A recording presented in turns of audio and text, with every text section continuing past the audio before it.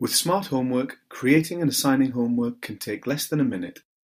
Finding out who's completed their homework is done in the blink of an eye, and feeding back is simple and purposeful.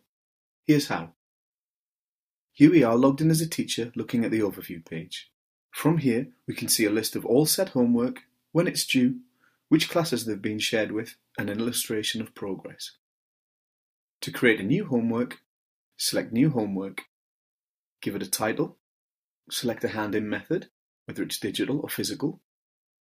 Choose a year group. Add a subject. The start date, it defaults to today, and a due date. Next, add your classes which are automatically provisioned seamlessly from your MIS. Finally, select Create Homework and it's as easy as that. From the Edit page, you can add files and resources from your computer or Google Drive and make any changes that are necessary. To look at existing homework, we can select any from the list. We can see a quick overview for each student in the class, their self-assessment, and if the work was handed in on time.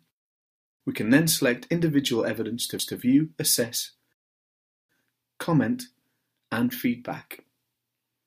It really is as easy as that.